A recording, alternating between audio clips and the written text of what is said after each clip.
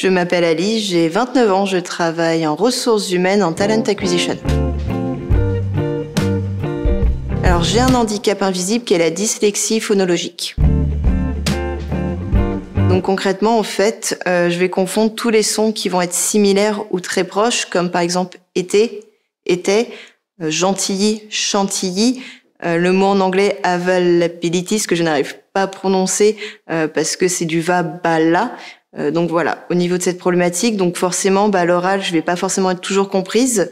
parce que je vais buter sur les mots, je vais pas forcément très bien les prononcer. Et au niveau de la lecture, mon temps de lecture va être doublé parce que j'ai une première lecture qui va servir de décryptage et une seconde lecture qui va m'aider pour comprendre le sens de la phrase. Fait, fait sur Internet, je rencontre en problématique, euh, non, sur les loges textes ou, ou les antissements, beaucoup de, de mots de, que je connais, c'est, c'est, c'est mon temps de montage va être doublé, et, et d'autres problèmes, d'autres problèmes sur les, sur les compacts, où il y a des daillots d'interlignes et beaucoup de, de, où là, bah, mon temps, bah, mon temps, tâche, tâche, tâche, et un peu, un peu moins visible, visible, visible. Alors oui, en effet, sur Internet, je rencontre des problématiques, euh, notamment sur les textes littéraires ou les revues scientifiques, où il y a beaucoup de mots inconnus que je ne connais pas forcément. Donc mon temps de décryptage va être doublé.